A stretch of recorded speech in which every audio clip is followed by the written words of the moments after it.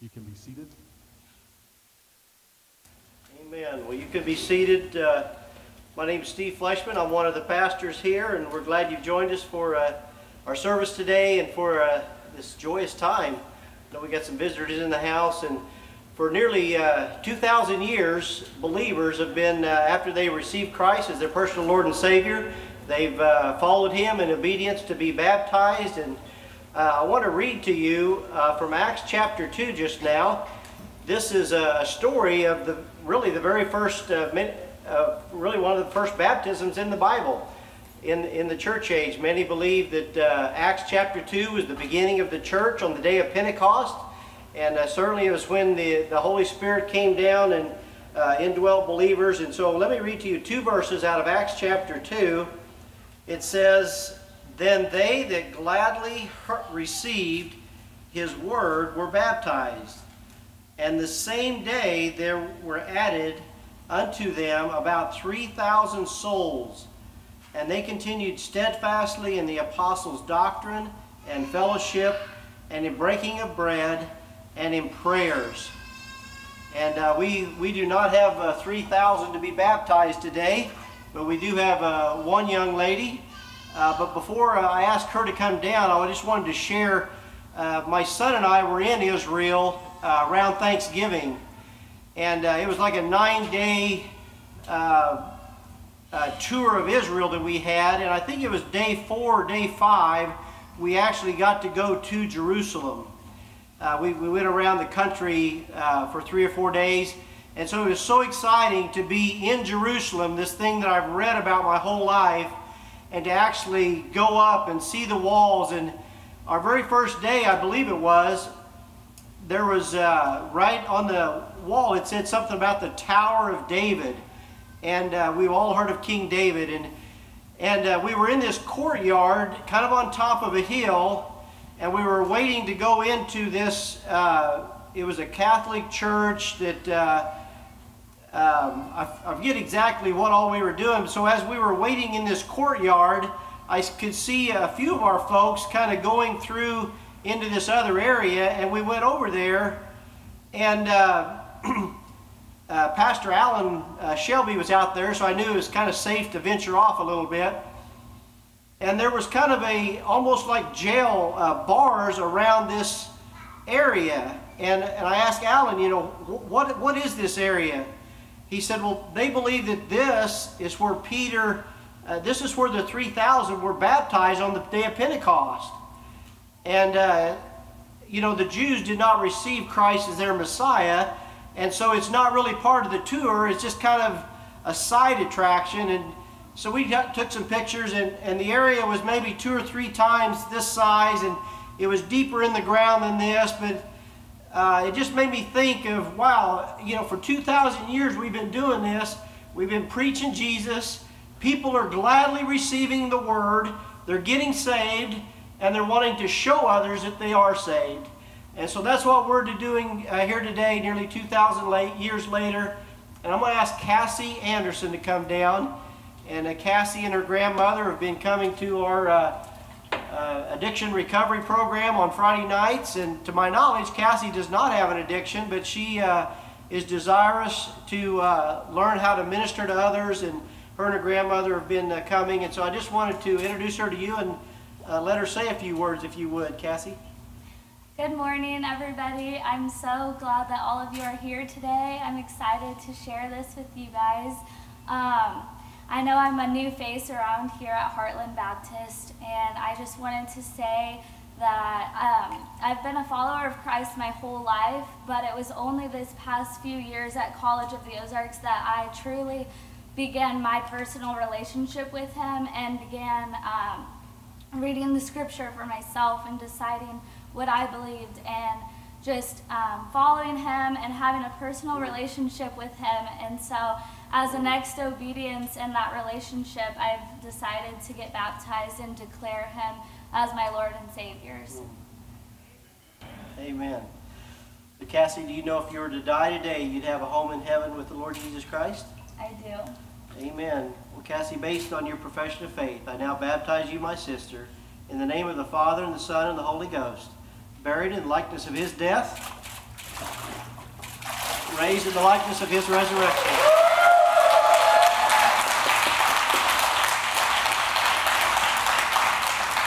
It has been done as the Lord commanded.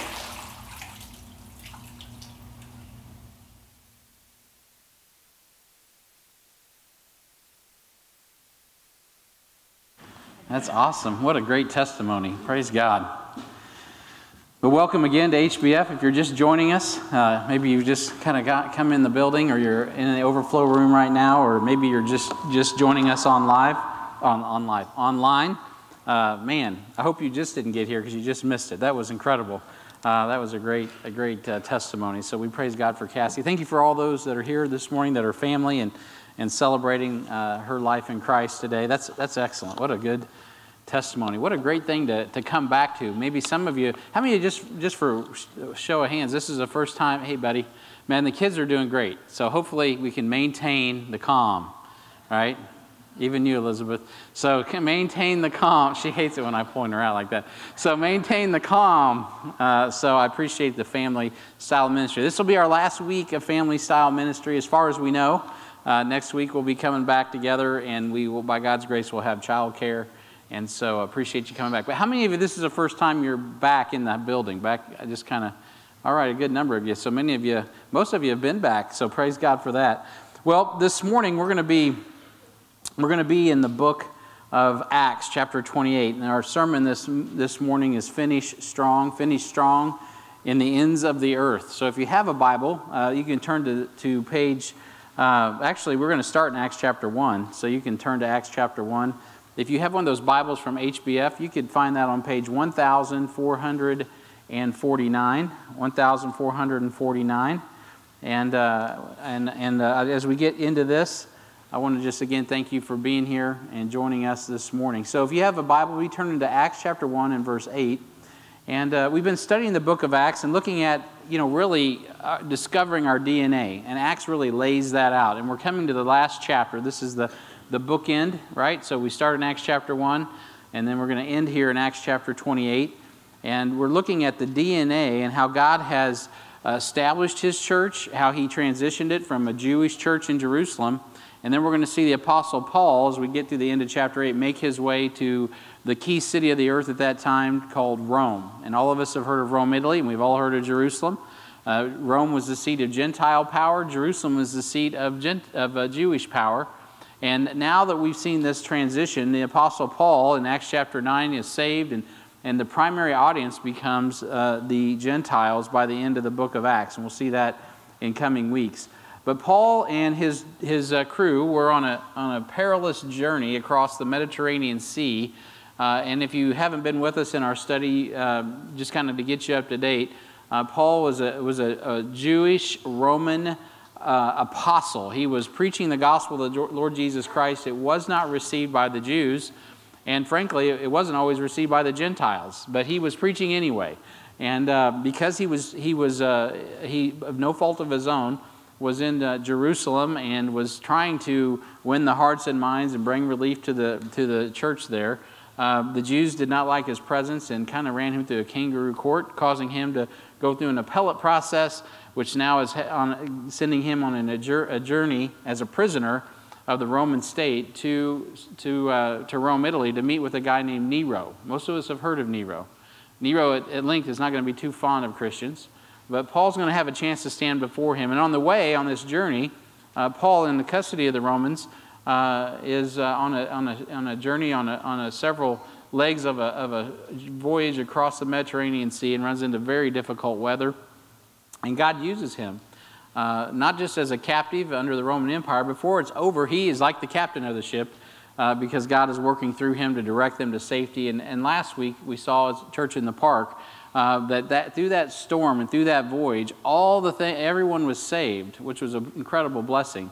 Uh, all 270 plus people on that ship uh, made it safely to this island that we're going to see this morning called Melita. And so, uh, before we get into all of that, I just want to just kind of have you go back and look at the book of Acts, chapter 1. Acts chapter 1, because this all started way back in Acts chapter 1. And I want to remind you of, of uh, what Jesus said to his disciples. They were asking him about the kingdom. Jesus, when are you going to bring this kingdom? Because as Jews, they were wanting to see Jesus come back physically. Uh, and and uh, he, they believed he died. They believed he was resurrected. Just like Cassie testified just now, that was a message in itself. And they believed that not only that he was alive and that he is resurrected, that he would return and he will rule and reign in Jerusalem. And by the way, that's still on the, that's still on the docket. That's actually going to happen very soon. We have every reason to believe the same thing that they believed.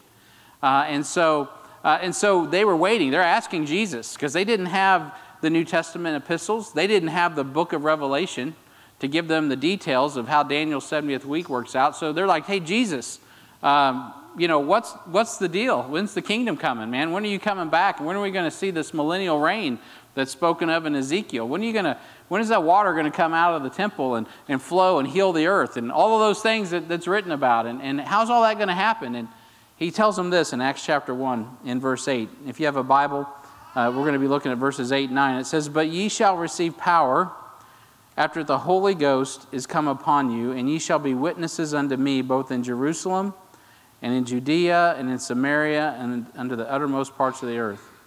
And when he had spoken these things, while they had beheld, he was taken up in a cloud, received him out of their sight. Heavenly Father, I pray a blessing on the reading and the hearing of your word this morning. And Lord, until you come back, may we be found busy about the business of bringing hope in the midst of a world that is, is really wrecked in many, in many instances. Lord, I pray this morning uh, that the light that we've already seen in the baptism tank, the light of Christ, would continue to shine across our communities. Lord, it would shine across our, our counties. Lord, it would shine across uh, this part of the country. Lord, that would shine across the entire country and across the entire world. That this morning, as the gospel is being preached all over the planet, Lord, I pray that it would prevail Lord, Satan is, uh, is wounded. He is hurt. He is going down soon. Your kingdom will return. Uh, but, Lord, not yet. Lord, and as Satan is flailing, trying to control the things of this earth, Lord, we are free men. We are free, even though we may be held captive, Lord. We are free indeed. And we thank you, Lord, for the Lord Jesus Christ. I pray that there's anyone today under the sound of my voice that is not saved, that is not born again, that is not convinced by the Spirit of God and the gospel of the Lord Jesus Christ, that they can be free indeed, that today you would do that work in their heart and release them from the bondage of sin. Lord, help them understand the grace of God and the forgiveness that comes through Jesus Christ. Lord, uh, Lord, remove from them the shackles of sin and death, Lord, and give them grace and life through Jesus Christ. We thank you and we praise you. We ask this in your name. In Jesus' name, amen. And so this morning, as we look at this text, we see that, that Jesus is saying, guys, I, I, this is what you need to do. I'm going to I'm to tell you, you need to go to Jerusalem, Judea, Samaria, and the uttermost parts of the earth. But don't do that yet because you need my power. And that power came in Acts chapter 2 when the Spirit of God came upon them and quickened them and brought them the power they needed to preach the gospel in a way to make a difference across the entire world. And so praise God for that. Uh, and so Paul is now on the other end of this and he has, he has preached the gospel in Jerusalem. He has preached the gospel in Judea. He has preached the gospel in Samaria. He has preached the gospel now in the uttermost parts of the earth. And it just so happens, the last chapter of this, of this book, he lands at an island called Melita. And so in your text in the book of Acts, be turning back to Acts chapter 28. Acts chapter 28. We're going to start this morning in verse 1. Acts chapter 28. And we see that, that Paul finds himself in verse 1, and it says, and, and what? Well, before that, uh, that conjunction junction is the function is to connect us with the previous verse. We see in verse 44, chapter 27, and the rest, some, of, some on boards and some on pieces of ship. And so it came that they escaped, all safe to land. So everyone that was on Paul's ship that was shipwrecked, all landed safely on, this, on the land. Now, what land is that? Well, we see in verse 1, it says, And when they were escaped, then they knew the island was called Melita. So they escaped and found this island called Melita. They escaped a shipwreck, and uh, it was a terrible shipwreck. It destroyed the entire ship, but it didn't destroy one soul.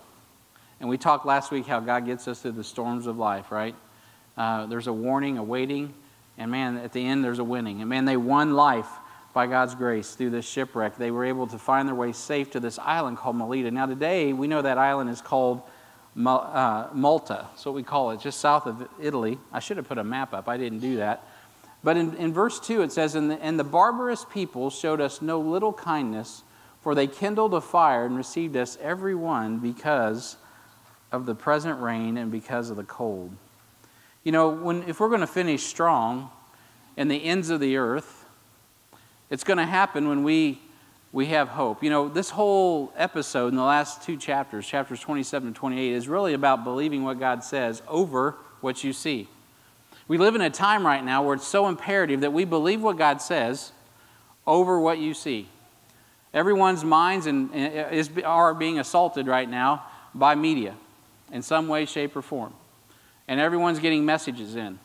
Whether it's, ver- it's audible, it's visual, mainly visual, uh, especially the younger people. They're tuned in all the time to devices, they're just feeding them information all the time. Now, Paul, as, as we've seen, he is so focused on what the Lord says that that's all he pays attention to. When the sky is sunny and the breeze is blowing and, and God says it's going to storm, Paul says it's going to storm. And guess what? It storms. When, when, when the winds are blowing for 14 days and everybody's starving because they haven't eaten and they're afraid the ship's going to go down, and Paul stands up and says, Be of good cheer. God told me we're all going to be saved alive. Everybody's like, What? You know what? Paul believed what God said. And you know, we need hope. There is no hope. You're not going to find hope in this world unless you find it in Christ. When the world needed hope, God sent his son, right? When, when this world needs hope, God takes care of it. God is the hope of this world. And his, and his son, the Lord Jesus Christ, is the answer. I know that sounds simple and it sounds like something you learn in the Sunday school, but you're never too old to remember that Jesus is the hope. And so they land on this island, they've been shipwrecked, and, and they, need, they, need, they need some hope. And boy, do they find it. These people, uh, when they get on the island, they find that they're on this island. Once they land there, they meet these barbarians. Typically, when you meet barbarians, you don't think of hope. You think of, you know, Conan, right? You think Arnold Schwarzenegger with the big sword or something, you know? So, no, these guys are so kind. And they, and they realize they're at Melita, which is now Malta, is what they call it. And they understand that, you know what, we're not far from our destination. We're not far. So, if you're going to finish strong in the ends of the earth, first you need to have hope. That's our first point of study. People who escape death rejoice in hope. I love the way the wording is here. Is here. It says in verse 1 and when they were escaped, escaped. Think about that. Who's escaping? Now, there's prisoners on the ship, but nobody's running. Nobody can't, they can't go anywhere anyway. Malta's a small, small little island. They'd catch them. People aren't escaping from from, from captivity. They're escaping a storm and desperate situations that would have killed them. They have escaped, well, they've escaped death. They've escaped death. They've escaped death. And when they escape death, man, that's incredible. Who is this that has escaped death? Well, the 276 souls that survived the shipwreck and made it to shore as the Lord had promised through Paul. And what did they escape? Well, they escaped death. And many of us have We've all had close calls. I bet most of us, not maybe not all of us, but most of us have had close calls with death. Right? You're about to step out in front of a car, something falls, you know, whatever. I mean, there's just all kinds of maybe you, I remember when I was a little kid, little little kid took a 22 pistol one time and put it out the window across the street and shot it. Man, the bullet went right between me and his brother, right in the street. I mean, I'm like, man, that was a close call. Then here come the sheriffs, and it was crazy. But anyway, there's all these things that happen in your life, and you're like, whoo, that was a close call. I escaped death. And you know, when you escape death, you're thankful. You know, I could, I'm starting, I'm thinking all these stories. I remember one time we were going down I 70 when I was a little boy. I was like seven years old. My parents had this little Midas pull behind camper on a, on a Cordoba car. And uh, we were coming down I 70 there just outside of Columbia. And there's these wind shears coming across the face of the cliffs there right as you're getting ready to cross over the Missouri River. Well, it was a beautiful, it was like, it was like Paul's journey to, journey to Malta. I mean, it starts off, it looked really good, it was nice, it didn't look like it was a big deal. And all of a sudden, these winds grab a hold of our car, the, the trailer, you know. And this is before we understood about sway control and all this stuff. And man, we are literally just flying back and forth across the, uh, across the road and uh, uh, jackknifing. And my sisters are screaming. The trailer's like sideways, literally on two wheels, on one wheel on its side like this. And, and we're just, it's pulling us, we're not pulling it. And man, it was craziness. And then my dad reaches over and, and he somehow he puts on the trailer brakes. He let my mom drive. So uh, that was, she never drove an RV again, by the way. Um, but, uh, That was her first and last time, I think. Mom's watching, so if I'm wrong about that, correct me, Mom. But uh, so you know what? That you know, we got done. Everybody's crying. I'm crying. My sisters are bawling, screaming. I remember Carrie screaming her head off during this whole thing. Why? Because we thought we were going to die. We thought we were going to be swept off this bridge and whew, we're gone down the Missouri River or something. But by God's grace, it didn't happen. When you escape death, you're, death, you're like, oh, wow, thank you. It provides hope. Hope of what? Hope of life, man. The death that all humanity must be concerned about isn't really that first death. It's not the one that, you know, happens when someone accidentally shoots you with a 22 or your RV gets swept off a bridge on I-70, although that stuff's scary. Uh, the death that we really got to be concerned about is what the Bible calls the second death. The second death. Now, when you think about death, how many of you are just like, yeah, I'm ready for death? Let's just, let's get it on right now today. I'm ready to face death. I think even those of us that are saved, we're accused of not, of being fatalistic. We're not. I mean, even Christians, we're like, you know, God, I'm ready to go, but I'll go when it's time. you know, I'm not out looking, I'm not looking today for someone to take my life. Sometimes I preach like I am, but you know, the reality is, is that we cherish life, even the life that we have in these carcasses. But we know as Christians there's no sting in death. So by faith, we believe. Even though our flesh doesn't want to die, we know our soul's going to be fine. But we have peace. It's not because we don't have peace because we don't have to face physical death. Most of us, unless the rapture comes, which is highly likely, will have to face physical death, right? And even facing physical death, it's a lonely proposition. Nobody can grab your hand and go with you. You got to go alone. It's kind of a scary proposition, even for a Christian, let's be honest. I mean, even though you know there's hope, God has to kind of prepare your heart with grace to get you ready to step over into eternity most of the time. And I've seen that happen. I've seen people go in peace, and I've seen people go in turmoil. And by God's grace, we have peace. And what really causes people to have turmoil about death isn't the first death, it's not taking that last breath, it's what it comes after that. Because you know or you don't know that you have eternal life and you're going to face the second death, or you're going to be free from the sting of the second death, the judgment that's to come.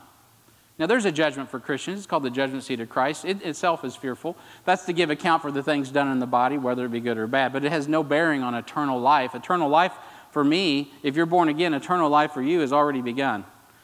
So physical death is nothing, in essence. There's no sting in it. I will die someday. I'll get out of this carcass and I'll go, What was I so worried about? This is awesome. I wish I could have got here sooner right? But I'm not there now because God wants me to work here right now. Right? And so our perspective changes as we get filled as we get our perspective changes as we get filled with faith. Faith comes by hearing hearing by the Word of God. The Word of God prepares our hearts and our minds to, to face death. But you know what? The second death is, is really the issue. Because if you, you, can, you can convince yourself that I'll be fine, I'm going to go to hell and party with all my buddies. How many of you heard that before? Oh, yeah. I mean, they're going to get on the train with Angus Young, take that highway to hell, and have a good time, man. It's going to be fun down there. No, it is not going to be fun. It's going to be terrible. The Bible defines that as the second death. There's two mentions, by the way, of the second death in Revelation 2:11 and Revelation chapter 20 and verse 6. We're not going to look at those this morning, but what's interesting in those two references, the first two references of that phrase second death, they're not punitive. Actually, it's a proclamation of our liberty, our freedom from the second death. Man, how many this morning just know in your heart, man, I'm free from the second death? Man, isn't that awesome? If you just know that in your heart, man, you're just, hey, you can claim Revelation 2.11, Revelation 26. Those are passages talking to people that don't have to deal with the second death. That's what the Bible believing Christian, that's, that's what a born again Christian is resting in. But the last two mentions of the second death in Revelation are not so rosy.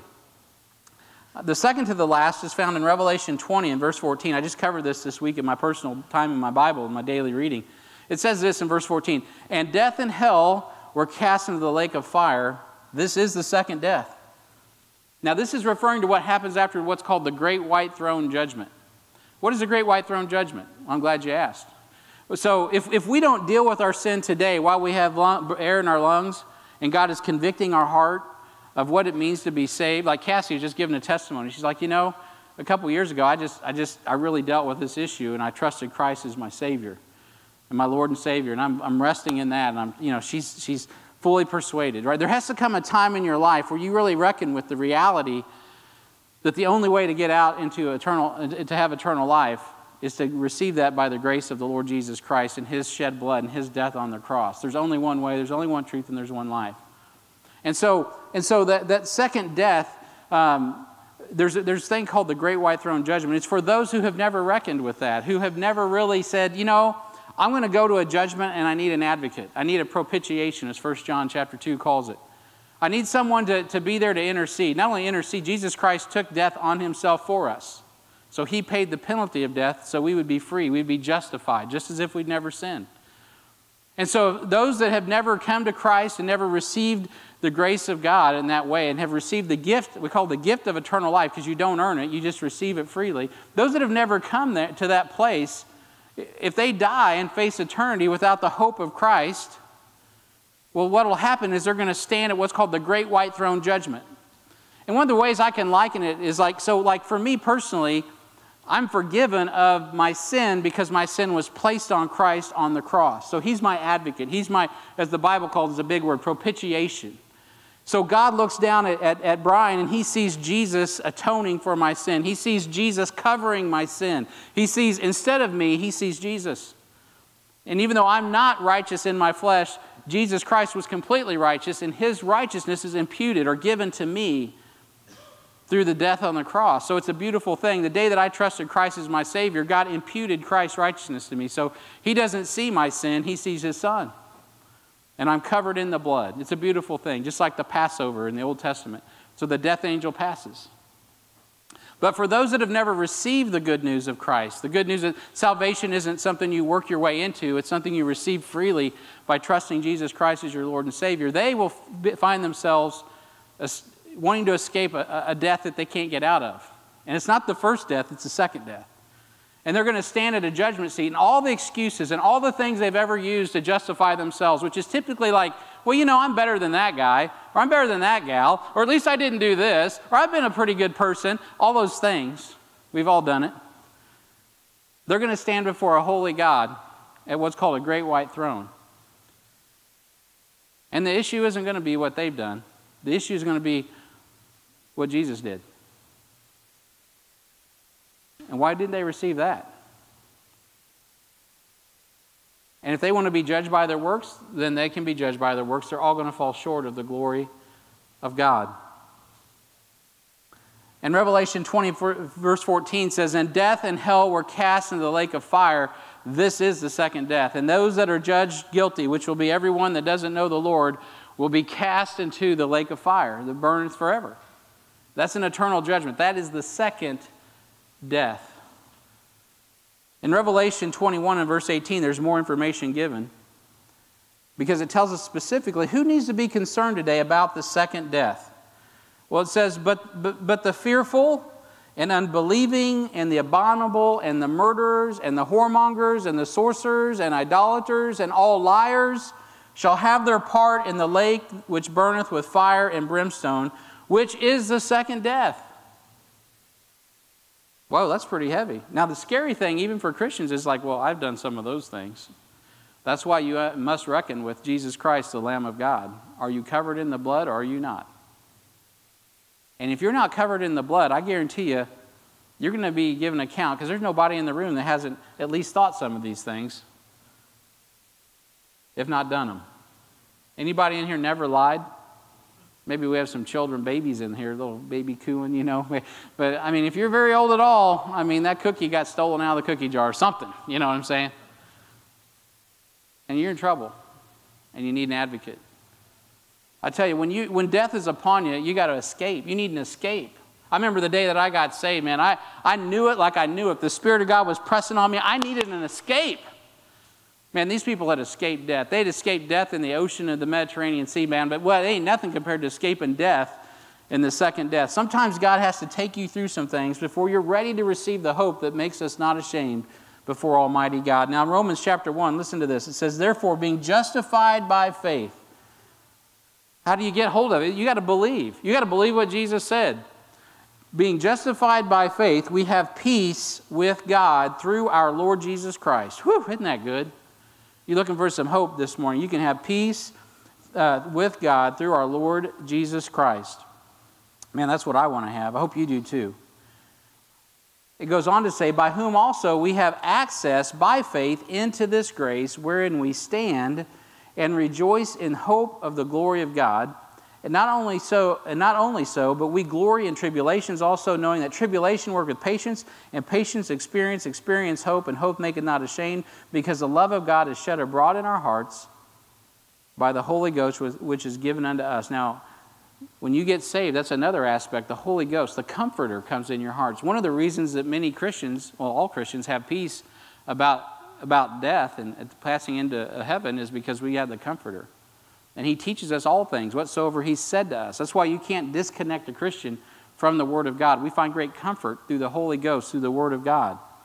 And He goes on to say, For when we were yet without strength, in due time Christ died for the ungodly. Before you were even born, God had already provided the sacrifice. For scarcely for a righteous man would one die. Yet peradventure for a good man would he, uh, some would even dare to die. But God commendeth his love toward us in, in that while we were yet sinners, Christ died for us. While we were yet sinners, he died for us. It's the total antithesis of everything we see in our culture today. It's loving the unlovable. It's forgiving the unforgivable. It's receiving the grace of God. And so hope makes us thankful. Hope makes us thankful. We rejoice in hope. We rejoice in the hope of the glory of God because we're justified by faith. And that means it's not a one time thing. We repeat it over and over again. Are you, salvation, by the way, let me be clear, is a one time thing. You get saved and you're secure. But we revisit it. That's what rejoice means. Man, we come together every week to remember what happened 2,000 years ago. Steve did an eloquent job of explaining what happened in the first century, right? And we come together every week and we continue to rejoice and rejoice and rejoice in the hope that guess what? We don't have to worry about the second death. But not only that, we now have the hope of eternal life. We have the Spirit of God and we have the Word of God, so we can go tell people the good news. We can be the hope in the story, as I've talked about last week. Are you thankful you're saved this morning? Whew, amen. I am too. Isn't it good to just to know that? I am saved today. So we rejoice every Sunday. We rejoice. So if we're joyous today, by next week we might get a little we might get a little crusty by next Sunday. So we got to come back and do this again. We're going to rejoice and we're going to be excited because Jesus Christ is alive. Hope gives us confidence in God as well. We have hope in difficulty because hope maketh not ashamed. The love of God is shed abroad in our hearts by the Holy Ghost, which is given to us. And this is a time when people need hope. Let me ask you do you really have the hope of Christ this morning? I, think most of you would say, Yeah, I do. Praise God. But do we act like it? I mean, do we live like it? Or do we let the messages come in? Do we let the storms of life distract us from the Word of God that says, Hey, be of good cheer? Be a good cheer. Do you know, we should rejoice in the Lord always. And again, I say, rejoice. The joy of the Lord is our strength. And that comes when hope, hope in the Scripture. So I pray this morning we have confidence that we've been saved from the shipwreck of the eternal lake of fire. Do you know that you've been spared the second death? Now, I know you're in a group of people and that can kind of get kind of freaky, but if the Holy Spirit of God is pressing on you right now and in your heart you have an uncertainty or questions about that, you need to settle that deep in your heart. I'm not your friend. If, I'm not really here to beat people up. Sometimes it may feel like that. But the reality is here, I, want, I need people to understand the seriousness of the second death. I can tell you right now, I got a message of good cheer. You can escape it. And you can find, you know, Melita is a rock solid island. If you can find yourself in Christ, you're going to be on the rock of Christ. You're going to be saved. So people who give hope receive hope. You know what? The barbarous, uh, the barbarous people, barbarous is not a word by the way. The bar- barbarous people are inhabitants of this island of Miletus or Malta. Malta is an ancient island inhabited soon after Shem, Ham, and Japheth got off the ark. I mean, this place has been inhabited throughout humanity. Uh, there, there, UNESCO has several sites there of ancient temples. The oldest in the world are on this little island in the midst of the, just south of Italy in the Mediterranean, just southeast of Sicily. And, and you know, when you see this word barbarian, when you hear the word bar- barbarian, I mean, don't you guys like have an image of a barbarian, you know? My mom used to call me a heathen, right? So I had this image until I got saved. I'm like, oh, that's a Gentile. I guess I am a heathen. All right. So anyway, but there's these words, barbarian, heathen, that always kind of, I had these vivid images of, you know, some dude that's just gnarly. You know, so anyway, maybe you don't think like that. That's okay. But Dr. Luke, who's writing this, is being very specific. Uh, you know, he wasn't writing about Arnold Schwarzenegger and Conan the Barbarian. He was, he was writing about very specifically who these people were on this island of Melita. And when you see their behavior, how kind they are, how helpful they are, you don't think of that as a barbarian, right? They're obviously literate, they have, they have housing. So, what makes a barbarian a barbarian? Well, I'm glad you asked. That's very important. You see, Malta is inhabited by, been inhabited, by the way, by many peoples throughout the history of the world. But what they're not, and Luke's being very precise here, they're not Jewish and they're not Greek. So the way they would be viewed, Theophilus, who he's writing this letter to, would see these barbarians as an uncultured group of people. But you know what? They're not any different than anybody else. As a matter of fact, they're quite kind, they're quite helpful, and they're quite useful to the kingdom. And God's going to use them in a mighty way. Malta, by the way, uh, is, didn't get its independence until 1974. It's had various people come in and out throughout the years.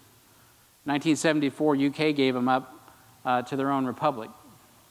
And it's a very, it's a thriving little, one of the smallest nations in the EU. It is the smallest nation in the EU. One of the first countries to regulate uh, Bitcoin currency, too. So it's an interesting little place. But God, God has a plan to bring the hope of the gospel to where? Well, you might have guessed it, the ends of the earth. Jerusalem, Judea, Samaria, the uttermost parts of the earth. Now you think, well, Malta's right in the middle of the Mediterranean. That's not the uttermost parts. Well, you know what? It's the beginning of getting there, isn't it? Because those people weren't in the Greek Empire. Now, obviously, they were under Roman rule at that time, but their culture and their background was different from the rest of the, of the, of the world at that time that was considered educated and enlightened. These were, well, they were barbarians. But the interesting thing, they weren't very barbarous. Half of the great, half of the great commandment was being accomplished. That's more than we can say for the Jews. Right? Love thy neighbor as thyself. When they hit that island, guess what they got? They got love from people that weren't like them, people that weren't educated like them. And you know what? They got taken care of. You know, Jesus intended for the hope of the gospel to get to the ends of the world before the Spirit of God was ever given to the church. In Matthew chapter 28, he said this And Jesus came and spake unto them, saying, All power is given unto me in heaven and in earth. Now, that power wasn't unleashed until he ascended. We saw it in Acts chapter 1 and verse 8. And then at the end of Pentecost, the Holy Spirit came down. That power then filled the church. Once that power came, they were to go ye therefore and teach all nations, not some nations, not the ones that just looked like them, not the ones that acted like them, but all nations, baptizing them in the name of the Father and of the Son and of the Holy Ghost, teaching them to observe all things whatsoever I've commanded you. And lo, I'm with you always, even till the end of the world. Amen. So be it. So God gives this command to those disciples, and it's the same one that He gives in Acts chapter 1, gives a more specific uh, understanding. Go to Jerusalem, Judea, Samaria, the uttermost parts of the earth. God had in His mind, I want to take this gospel to the uttermost. And so, beloved, as a born again Christian, as a, as a local New Testament church, if that is not our heart, then we are out of God's will, and it's no wonder there's judgment coming upon the church and the place in which the church is to reach. Why? Because we're to reach people, we're to reach all people. That's what we do.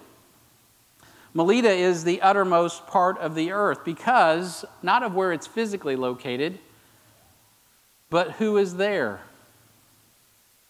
Right? This church has planted a church among those types of people in our own community 50 miles down the highway. Pastor David Pierce. Why? Reaching people in the uttermost part of the earth that happen to be physically located in our proximity. What kind of church does not reach out to the people from around the world that lives in their own community? They can't reach out across cultures when God sent his son out of heaven to cross culture. Now, listen to me why this is so important today because it is antithetical to everything that is going on in our culture, in the imaging, in the messaging. Everything that you're hearing today says, no, don't cross barriers. Don't love your neighbor as yourself. Don't go to people that don't look like you, act like you, think like you, and love them. But the Bible tells us just the opposite. That's exactly what we're to do. I can remember when I was in my 20s, a missionary named Don Sidebottom was visiting from Ethiopia one day in, in the foyer of our church at Kansas City Baptist Temple, and he says, uh, Hey, Brian, where are you preaching? I was always excited to talk to Don Sidebottom. The fact that he even paused to talk to me was just an honor, honestly. And Don, and I, I said, I'm in Coldwater, Kansas. And he laughs. He's like, Oh, brother so and so went to I went to college with him. He planted that church. I remember that. And then he says, "Oh, Brian, that's the end of the earth." and I was like, "Huh? You're in Ethiopia. What are you talking about? Kansas is the." But it really did something in my heart. I was actually encouraged. I'm like, you know what? For me right now, that is the end of the earth. Where's the end of the earth for you?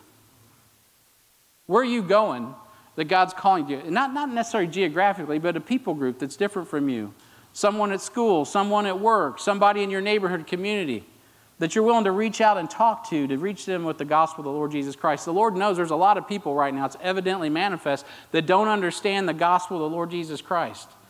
Red, yellow, black, and white, they're all precious in His sight. So, the local New Testament church, if it's not actively discipling people to literally take the gospel to the ends of the earth, then we are out of God's will. That's all there is to it.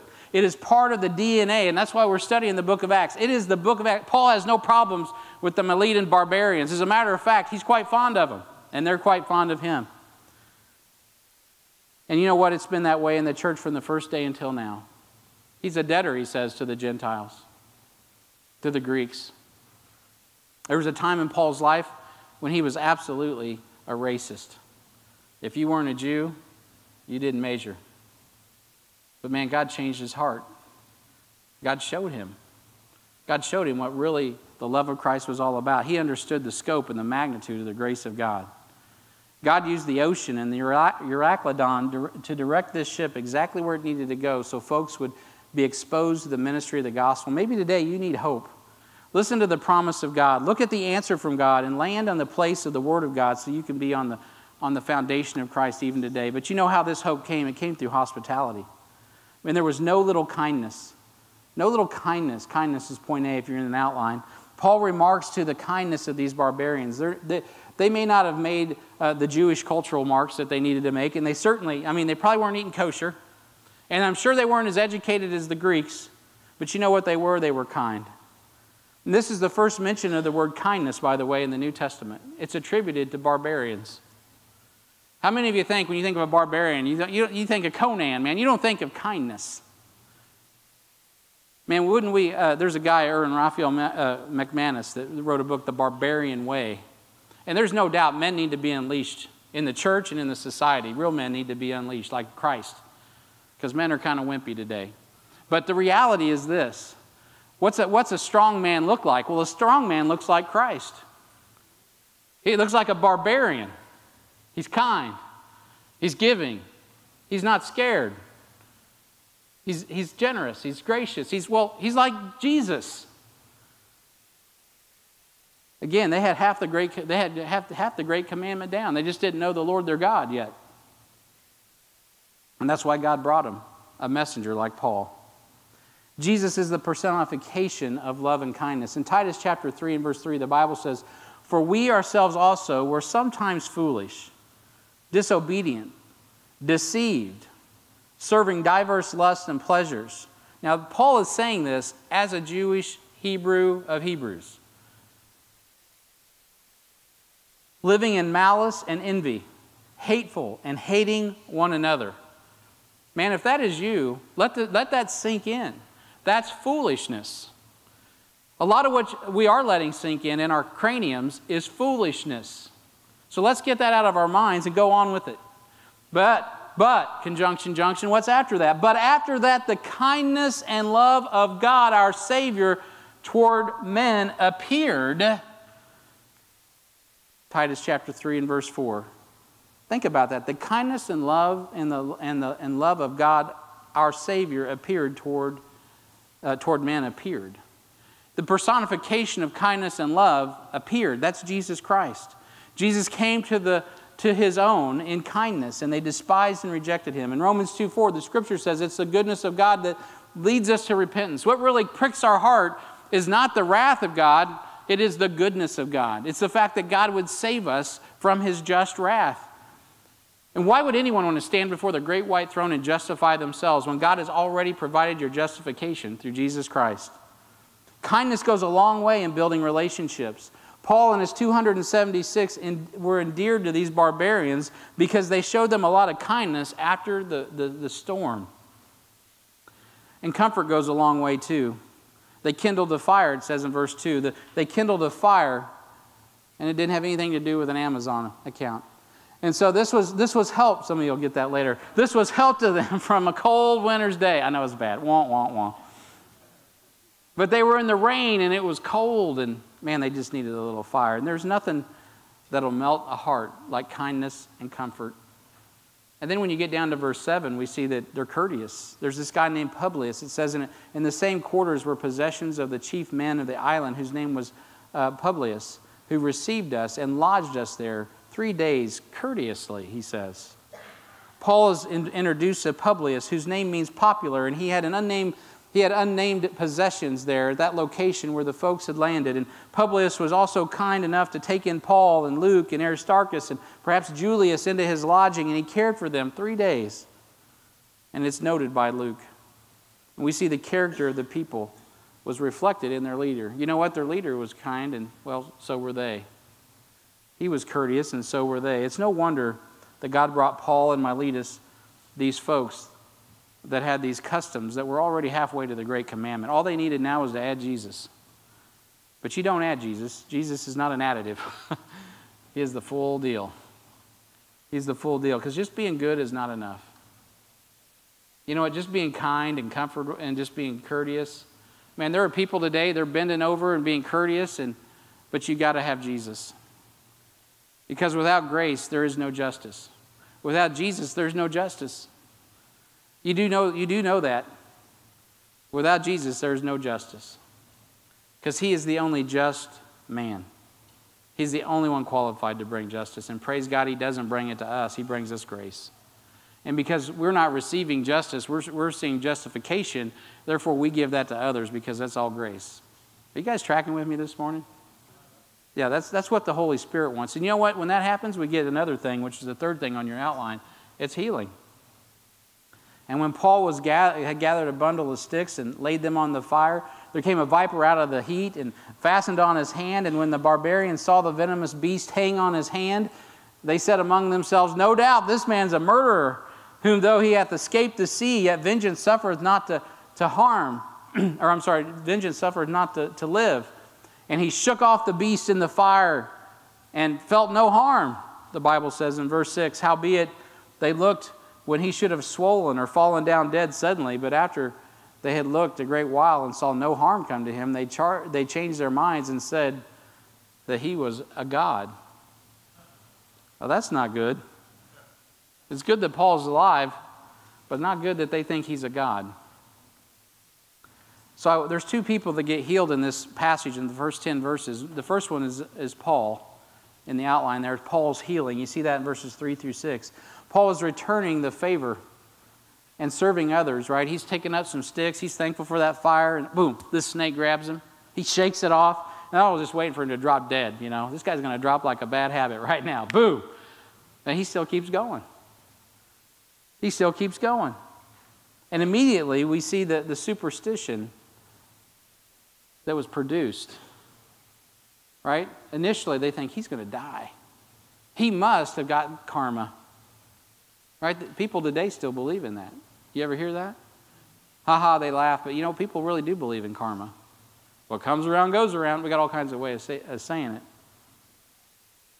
It's common for the culture, because there is a principle, by the way, you do reap what you sow. You plant corn, you get corn. Okay, so that is a biblical principle. But in a pagan culture, of course, it's all about demonic super, superstition, superstitions that supersede what the Bible teaches. Pastor Randy was faced with this in Africa. Many superstitions eclipse even the mind of the Christians. Something bad happens to you, you know, must be a bad omen, right? A lot of witchcraft, a lot of pagan religion there. Harold Hatman, when he was in Brazil, same thing, faced the same type of superstitions. Pastor Pradeep, Pastor Rajan, Pastor Ganesh, Same thing. But you know what? We even have them here in the United States, don't we? Many cultures are controlled by superstition. In Acts 25 19, Festus saw Christians as followers of superstition. Some people think what the Bible is is superstition. I'll tell you what, it isn't superstition if it's true. And the Bible's true. So these superstitious people at first are like, oh no, he's going to die. And then the next thing you're like, oh no, he's a God. They're confused because they don't know Christ. Paul shook off the beast, kept going. He was better than Taylor Swift. So God, God miraculously, that was good, you got to admit. And so God miraculously protected Paul. And it's often said that the safest place to be is in the will of God, and that's absolutely true. Even if God doesn't protect you from danger, He often protects us from the impact of danger. Notice Luke records that, that they changed their minds, and they will say that even today. There was no repentance because they were not turning to Christ. Oh, you changed my mind. You know what? Changing your mind's great. But what God really needs is a changed heart and a changed life. Changing your mind just meant, well, he went from a guy who should have died to a guy who's a God. That doesn't help him get to heaven. You know what we find here is Paul goes to the uttermost, sign gifts that were working for the Jews. When the Jews received a sign gift, man, they're like, praise God! They knew the God of Abraham, Isaac, and Jacob. They knew to, knew to attribute glory to. Today, you look at the Gentile world. Who do we attribute glory to? Men. Michael Jordan, for us old timers. Patrick Mahomes. Oh, these men are awesome. Words that we should reserve for God. I will give you that, Jeff. That's true. They're not awesome. God's awesome. They're men. They're made out of clay. And they're not gods, and we shouldn't worship them. Okay, I like Patrick Mahomes too. I know I could, I could strike a chord there. I, love, I loved watching him play. But the reality is, we can't worship. I'm not going to like stop what I'm doing on Sunday to give him my undivided attention. Right? Now, that's a personal thing in my life. God's worked that out for years in my heart. When I first got saved, I couldn't say that. I first got saved, if, you, if the praise God, the Chiefs didn't play at 10 o'clock in the morning, I'd never seen church during the football season because I was that conflicted in my heart. But God personally put me in situations where I had to choose the Chiefs over the gospel. And you're like, oh, God forbid. I look at that now and it's silly. It's silly. But it's true. God did that work in my heart. He said, Brian, what's really important? The souls down at City Union Mission or skipping out so you can check out the Monday night game or the Sunday night game? And believe it or not, sad to say, that was a conflict in my heart when I was young in the Lord. I believe the Holy Spirit is revealing in this passage how Gentiles don't receive the benefits of sign gifts like the Jews did. But you know what? That's not the only sign gift that happens. The last sign gift you'll see in the New Testament is found here in Acts 28 and verse 8. It says, And it came to pass that the father of Publius lay sick of a fever and a bloody flux. That sounds nasty, doesn't it? To whom Paul entered in and prayed and laid his hands on him and healed him so that when he was done, others also, which had diseases in the island, came and were healed. This is the last recorded healing miracle in the New Testament. By 100 AD, these were not happening. Today, if they were, all they literally, they didn't have to pray, they didn't have to have a tent meeting, they didn't have to pack out a, a stadium. They just literally went up, Paul laid hands on people, and boom, they were healed. Just like that. What, just like it says. That was a sign gift given to the apostles. By 100 AD, you weren't seeing that anymore. If we could do that today, I'd say go to Children's Mercy. That's your first stop. Start laying on hands right now. But you're not going to find anybody doing that. Now, don't get me wrong. We do pray for people still. We do pray over people. And sometimes God heals them. But we, I can't just roll up on somebody and say, You're healed. I just ask God for mercy. It's up to Him what He does. And sometimes He heals, sometimes He doesn't. But Paul is fulfilling here in, in this passage, it's a bookend to what Jesus wrote in Mark 16, 17. It says, And these signs shall follow after them that believe. In my name shall they cast out devils. Paul did that. They shall, remember the sons of Sceva? They shall, uh, Peter did that. Uh, they shall speak with new tongues. They shall take up serpents. And if they drink any deadly thing, they shall, it shall not hurt them. They shall lay hands on the sick, and they shall recover. Now, by the time we get to 2 Timothy, it wasn't working like that. By, five years later, Paul's saying, Hey, Timothy, take a little wine for thy stomach's sake and thine off infirmities. Why didn't Paul just lay some hands on Timothy and healing? because things were changing. There's some folks down south who want to, you know, handle snakes. That's foolish. Because I guarantee you, if you don't die from that venomous snake, that is just the grace of God. Don't tempt God. That's tempting God. Don't do it. Don't go walk out in traffic. Don't do it. it's not smart. Dr. Luke describes the, the, the, medical condition. He says it's a bloody flux, which is dysentery. His, his intestines were so inflamed that he was passing blood. And Dr. Luke, who was a medical physician, diagnosed it. Paul simply laid hands and prayed, and boom, it was healed. You know what we need today?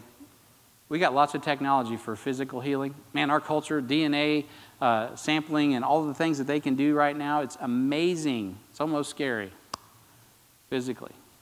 I wouldn't be surprised if there's not a cure for cancer around the corner. A lot of cancers cured.